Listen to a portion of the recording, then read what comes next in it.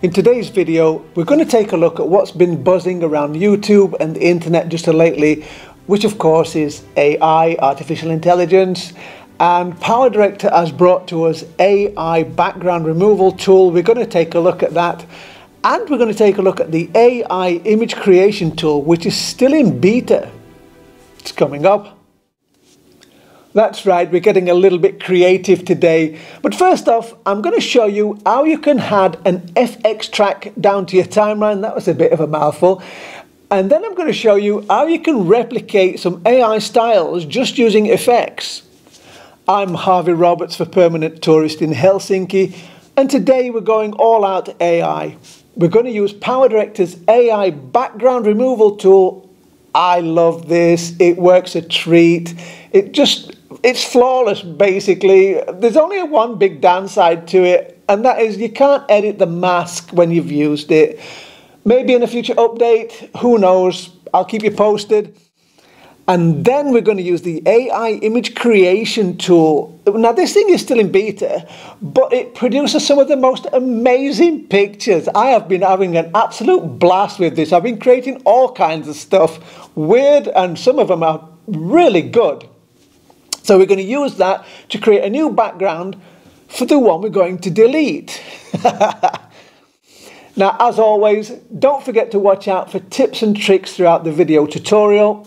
Let's open up PowerDirector. Let's get funky with AI. Do people say funky anymore? so we've created a new project. Let's import our media files. We're going to use this handsome guy here let's open this up and we're going to use a pre-cut. Now I'm going to drop this down onto track 2 and the reason being is of course because we're going to generate our own background which we're going to put on track 1. Now if you notice down here on the timeline here on the track there's a little line here we can reduce the sound to zero which is wonderful because we don't have to link unlink the sound files anymore very helpful now if we double click this open or click on edit, we can go here and look at the AI style plugin. Now I've downloaded a couple of these, the Manet Monet and Impressionist, the Chinese traditional paintings, they look nice, but I haven't downloaded those and the same goes for the Vincent van Gogh because I've seen his paintings, uh, they don't really impress me very much, but still after downloading these, yeah. And what happens is if you click on this, you can see what happens here and they are really gaudy. They're just not nice. That is terrible. And this one just makes it even worse. so, what is that all about? And then I went to these and I had a look at these. I thought these might be a little bit better, but wow. Just terrible. Look at this one. I look like a 1960s Welsh coal miner.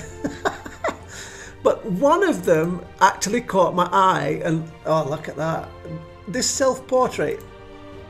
I looked at this and I thought to myself, I can replicate this with the effects because that is pretty bad, but I can make I can make it look a lot better. So let's not use the AI style plugin. I hate that. And what we're going to do is we're going to add a FX track here underneath track 2. So to do this, you can click anywhere inside this with your right mouse button. Doesn't matter if it's over the icon here, we can right click, add tracks, and you get the track manager. Now there's a dedicated button for this, so if I just switch that off, and if you go here, right on the left hand side, you'll see this add additional videos. This is the dedicated button for the track manager. Click it once, track manager opens up.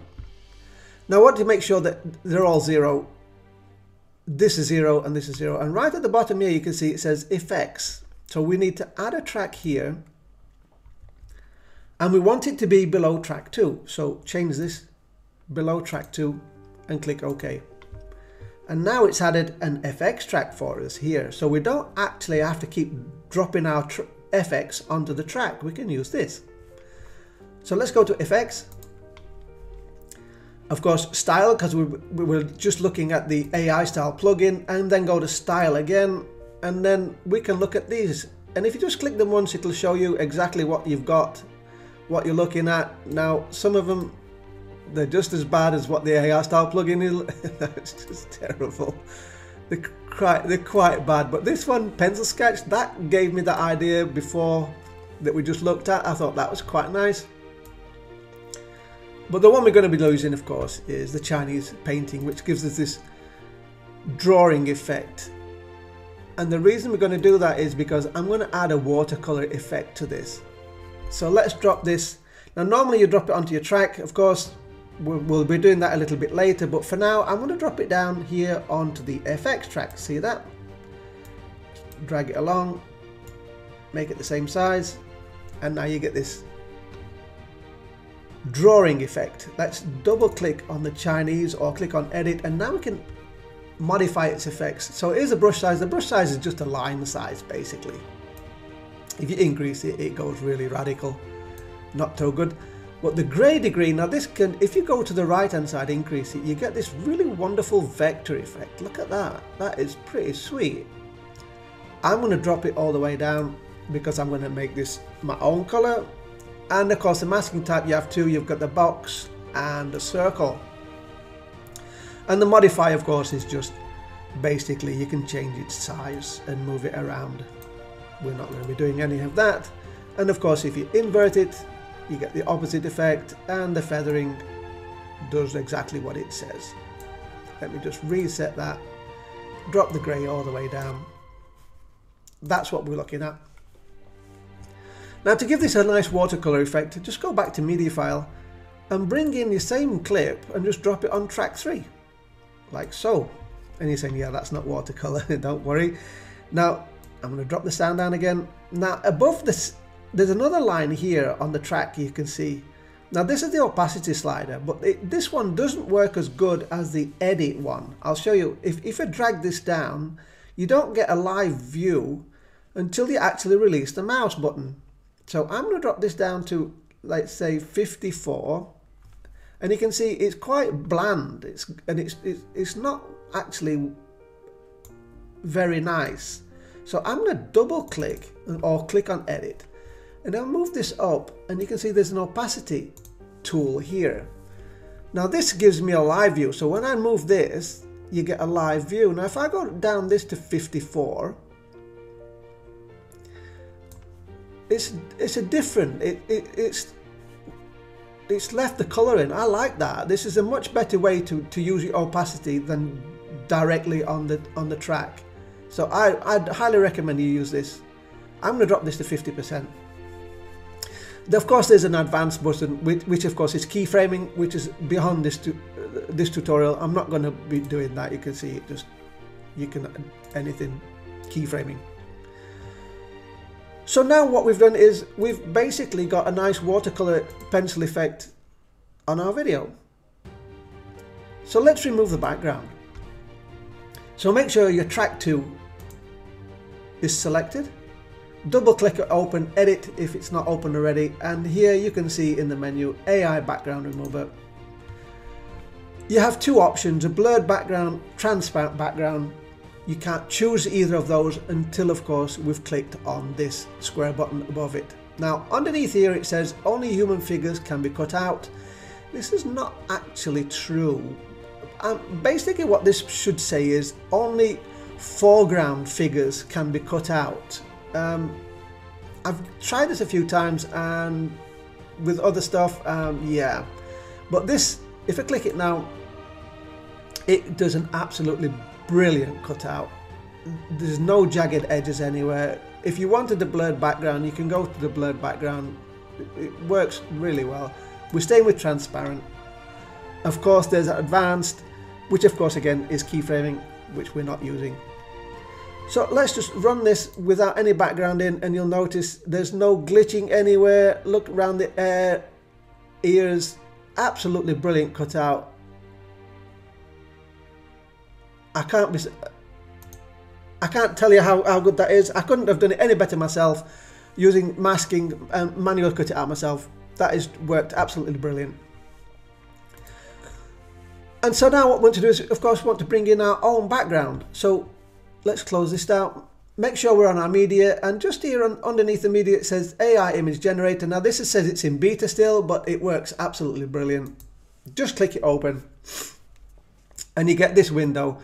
Now, we're not using portrait, we're going to go to scenery because we want a background. So let's click on scenery and you, you have several options, of course. Now, I've, I favour very much steampunk. I kind of like that idea. The minimalist is also good as well for this. So I'm going to choose minimalist for this one and then we're going to type in what we want it to be. Now I'm going to choose American style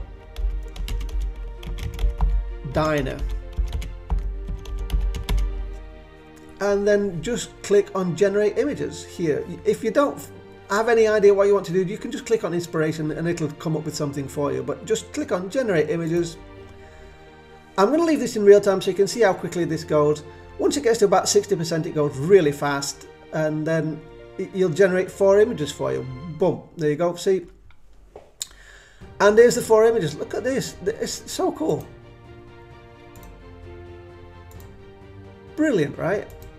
I like that one, that is really nice. And then there's a little button here that says add to library. So I've chosen this one. I'm going to add it to my library. It shows here, this button here, all my creations, all the things I've been messing around with, if you want to look at those. So add this to my library and now it tells me exactly where to find it in AI generated images. So in my media, AI generated images. Thank you very much. We'll close that down and close that down. And now you can see we have our images here. Now I've been messing around with this of course a lot. I've been using this old English style motorbike garage. I did a American style fire department building from the steampunk, which was very, very cool. I like that. A hotel room. We did something with watercolor. I did the cartoon one. I even did a an American firefighter truck in steampunk. Look at that. That is absolutely amazing. I love it.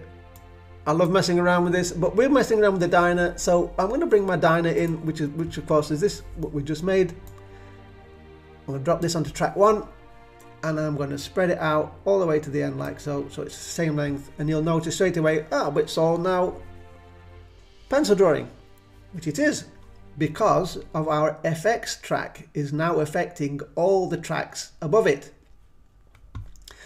So let's resize that. So click on the eye icons here on the line, all three of them like that. Make sure this is selected. Choose the zoom option, go to 25% so we can see how big we're to make this. You can make it as big as you want. I'm going to make it just slightly bigger and I'm going to move it up a little bit. Somewhere around there. That's good. Put this back to fit. Cool. And then just bring our eyes back online. Now, obviously don't see this until you click on one of the tracks. Cool, right? Now if you just play this along, and that's what it looks like. Brilliant cutout, looks very good, but we want to make it a little bit better, so let's just stop that there. I don't want to do that. I'm going to close this FXI so it's not affecting it in any way. Now, if I remove this also to track 3, if I switch this off as well, it gets really bright and you can see it's, it's it looks a little bit weird. So this is helping, the opacity is helping it keep it a better level for me. I like that. But want to bring our effects back, of course, you can just drop them back now onto our track. So you go to effects, Chinese painting, drop it onto our track here, drop the degree down, excellent. Or you could just increase it, give it that vector effect. Look at that. Very, very cool. And there we go. Perfect cutout, brilliant background. All done with just a few mess arounds here at the beginning. You could actually switch this off produce this and then you could actually keep bringing it in on all kinds of other things. The cutout was absolutely brilliant. I love it. Have fun with that. So there you go. Messing around with ai works a treat. Absolutely wonderful. Try it for yourself, see what you can come up with. If you enjoyed this video tutorial, don't forget to check out my channel for all things Power Director and more. That's my rant for today. Have a great day. Stay safe, people.